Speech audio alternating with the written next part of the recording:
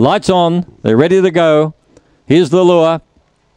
Racing, Backpacker missed it by about a length. Pennymaker flew, went straight to the front. Backpacker's burrowing through on the fence. He's only going to be five off the lead. They go to the back, and Pennymaker shows out by a couple of lengths. In second place, Electro Bale. He's a J-Clo is third. Four to Backpacker starting his run. About two further back, then Leopold Bale. Further back was Mighty Quoted. Well back on the field, Circo Bale and Footrot Fantasia. They come to the turn. Pennymaker still clear by a couple. Trying hard on the outside, Electro Bale and going through. He's a J-Clo, but Pennymaker lands the money. He's a J-Clo. Electro Bale, Backpacker, and they're followed further back by Leopold Bale.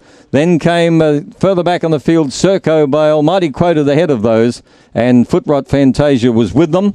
29.87, 5 3 7 and 1. Money talks. You only had to follow the betting, and you back the winner or our tips. Number five, Pennymaker is first. Second, number three, he's a J-Clo.